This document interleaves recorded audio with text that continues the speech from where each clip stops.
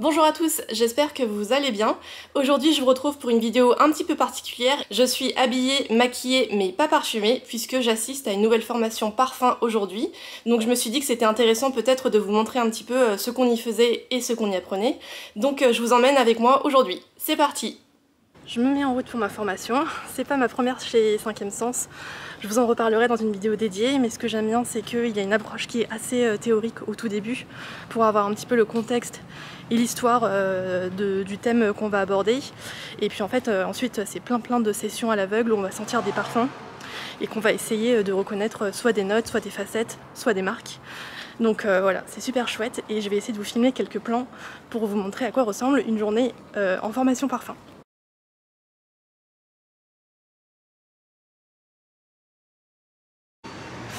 J'arrive chez 5e Sens pour cette première journée de formation qui a pour thème l'étude des best-sellers par euh, marché. C'est-à-dire qu'on va étudier euh, les parfums les plus vendus euh, selon telle zone géographique. Il me semble qu'on va étudier l'Europe, la France, l'Italie, les États-Unis, l'Asie aussi. Donc voilà, je pense qu'on va faire un tour du monde assez intéressant sur les parfums les plus vendus dans le monde. Donc voilà, j'ai trop hâte. On se retrouve dans le 7e arrondissement, chez 5e Sens. C'est donc ici que va se dérouler la formation, avec une vue qui est vraiment pas pour me déplaire. Et à côté de l'espace formation, dans la même rue, 5e Sens a ouvert il y a quelques années un espace coworking que je vais vous présenter juste après. Je voulais vous montrer la salle de formation. Avec sur chaque bureau un petit carnet et bien sûr des mouillettes.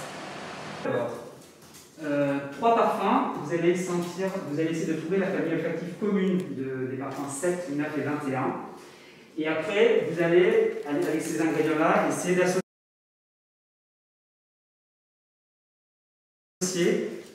1, 2, 3 ou plus des ingrédients à chaque parfum. Alors, vous avez en voie gauche de l'osmanthus, qui va apporter un effet fruité, abricoté et un effet même un peu cuiré.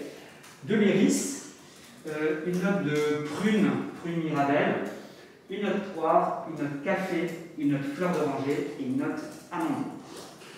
Alors, euh, identifiez deux notes olfactives au parfum 2, 4 et 43. Sachant qu'une note peut être sur plusieurs parfums. La note, c'est la facette nouvelle fraîcheur, donc ce côté très euh, frais, euh, aromatique et spéridé, presque un peu marin, qui peut évoquer un côté un peu détergent. Le citron, la rose, pomme verte et la note musquée. Donc oui, comme je disais, hein, c'est un, parfum qui a, qui a, 100 ans, est sur donc un, un fleuri alors pas que, hein, il, a une note, euh, il a une note aussi poudrée, qui est notamment apportée par la violette iris.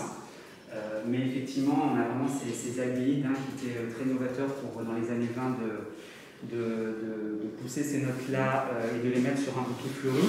Ça apporte beaucoup d'abstraction, de, transparence.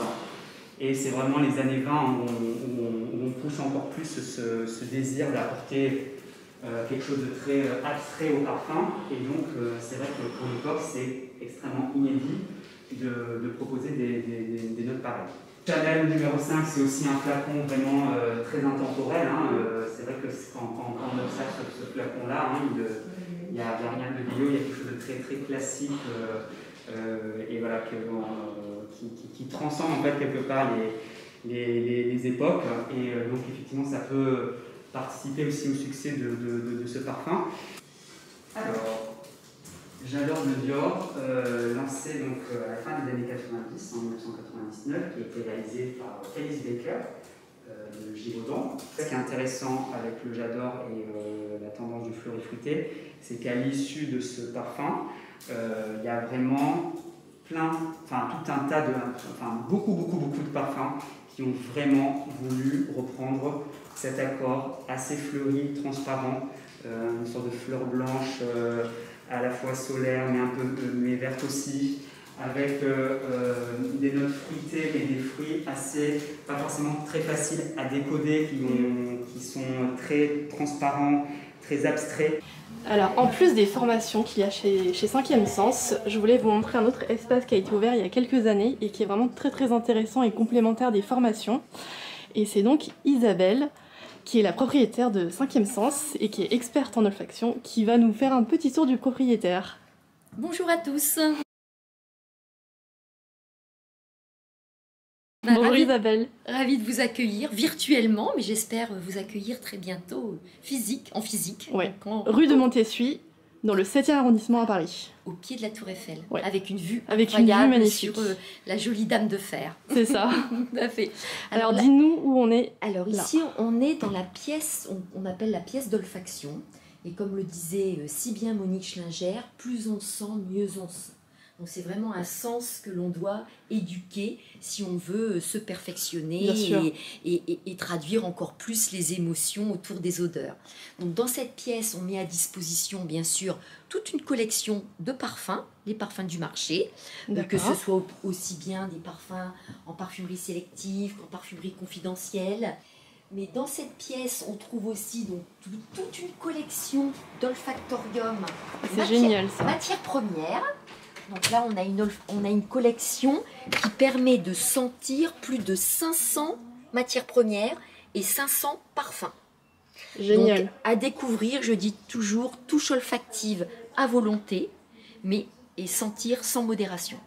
Super. Voilà. De quoi travailler le nez Exactement. En toute liberté. Mais le nez a aussi besoin de s'enrichir euh, et l'esprit culturellement. Mais quelle belle transition on met à disposition une bibliothèque et on a essayé vraiment de, pouvoir donner l'accès et répertorier tous les livres qui existent sur le monde de la parfumerie. Ah bah, ceux qui sont fidèles de ma chaîne reconnaîtront ce livre que j'adore, qui est le grand livre du parfum, qui est pour moi une bible.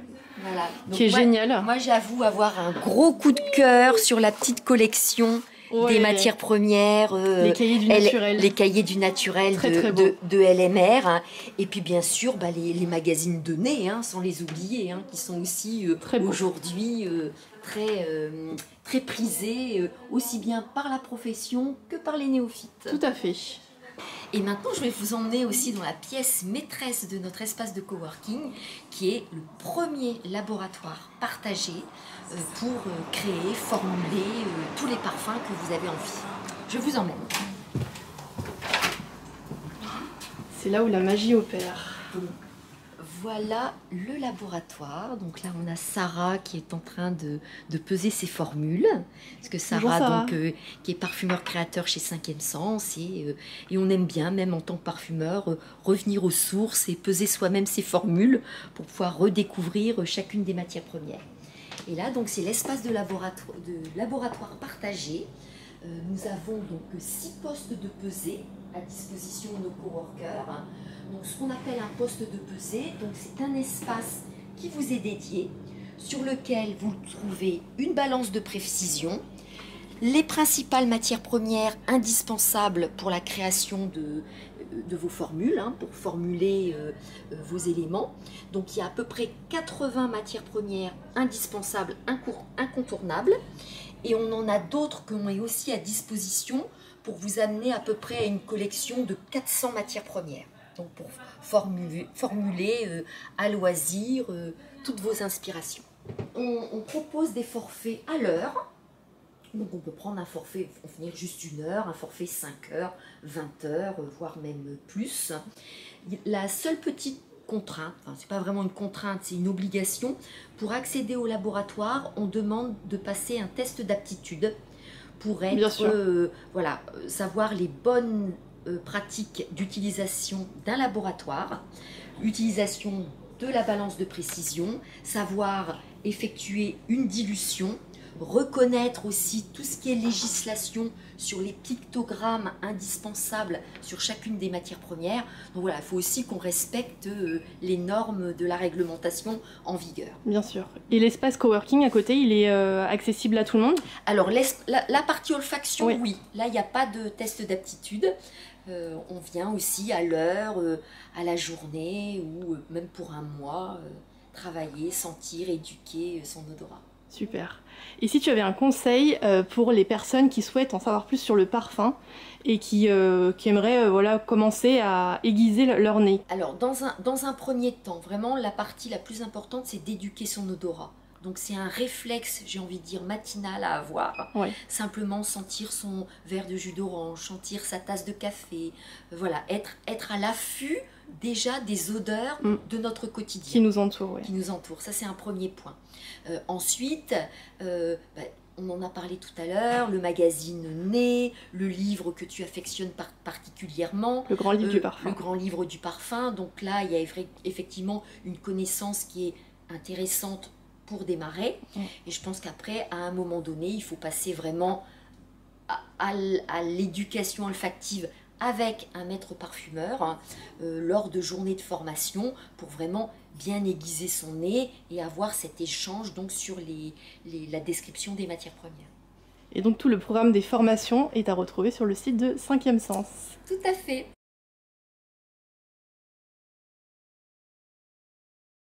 Et voilà l'ensemble des parfums qu'on va sentir aujourd'hui. C'est une sélection des lancements de parfums du premier semestre 2021.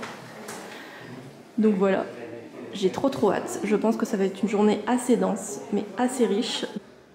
Là vous avez les nouveaux 8 tons, les nouveaux parfums de la collection privée de Christian Dior,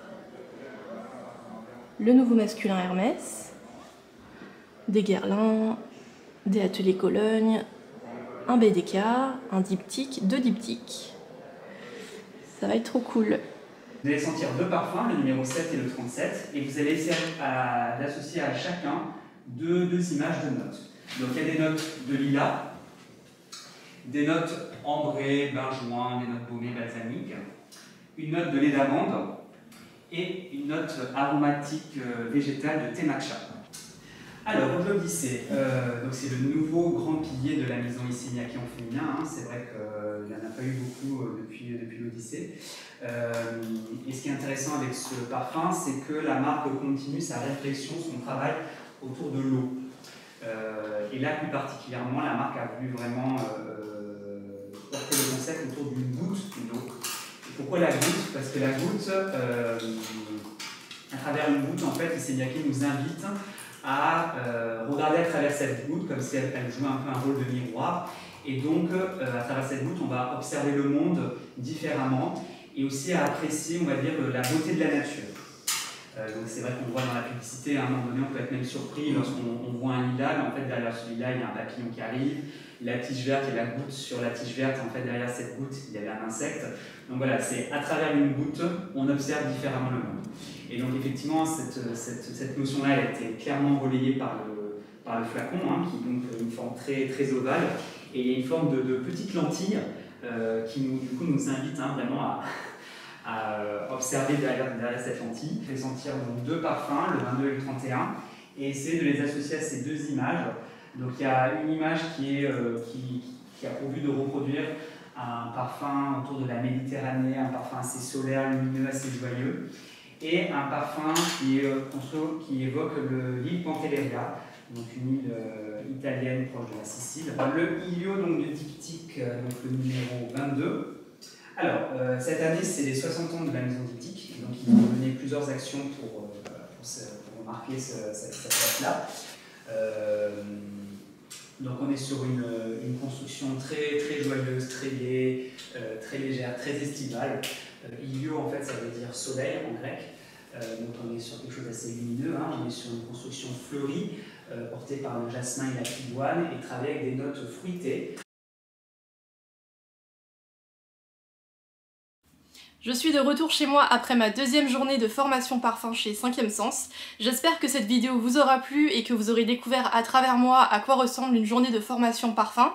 N'hésitez pas aussi à me dire en commentaire toutes vos remarques et à me laisser euh, vos questions si vous en avez sur euh, l'apprentissage de l'olfaction. J'essaierai d'y répondre ou je les transmettrai à Isabelle, euh, la présidente de 5ème Sens. N'hésitez pas aussi à vous abonner. Quant à moi, je vous retrouve dimanche prochain avec une nouvelle vidéo parfumée. Merci d'avoir regardé cette vidéo et à bientôt Bye.